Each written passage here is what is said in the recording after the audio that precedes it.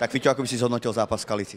Tak vedeli sme, čo od supera očakávať, čo bude našim cieľom. Prišli sme sem pre tri body, čo sme splnili, ale začali sme aktívne, dali sme dva góly, ale cez počas sme si hovorili, že nemôžeme zaspať a ten záver nám zase ušiel, pretože keď vyhrávame, niekedy stratíme koncentráciu, ale nakoniec sme to uhrali, za čo som veľmi rád a bereme si stade to dôležité tri body. Prvýkrát si viedol tým ako kapitán. Ako to celé si vnímal a hodnotíš to? Tak v prvom rade som to nečakal.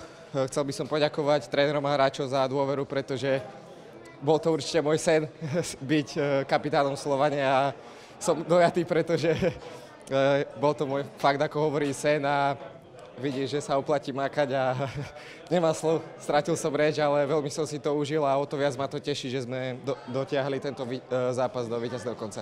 Bude to drahé? Ah, bude, ale budú to príjemné akože uložené peniaze do kasičky, takže vôbec mi to nerobí problém zaplatiť. Cez počas sme si povedali, že musíme dať tretí gol, pretože to nebude ľahké, ak náhodou inkasujeme. A zase sme nepremenili šance a trpíme na to, pretože tá efektivita je dôležitá. Ako vidíte, nedáte šance, dostajete na 2-1, dostajete sa pod tlakom. Ale naša defenzíva to dneska ustála, za čo som veľmi rád a 3 body sú 3 body. Samozrejme, opäť to bola pozmenená zostava. Ty v strede pola si hral prekvapujúco aj s Tigranom Barsegianom, ktorý vlastne bol siahnutý nižšie, aj s Markom Toličom. Ako to podľa teba fungovalo?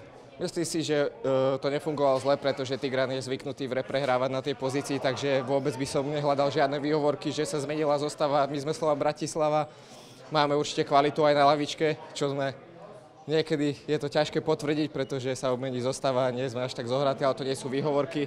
Ukázali sme aj kvalitu, aj svoje nedostatky, ale tri body sú tri body, takže ideme domov šťastní.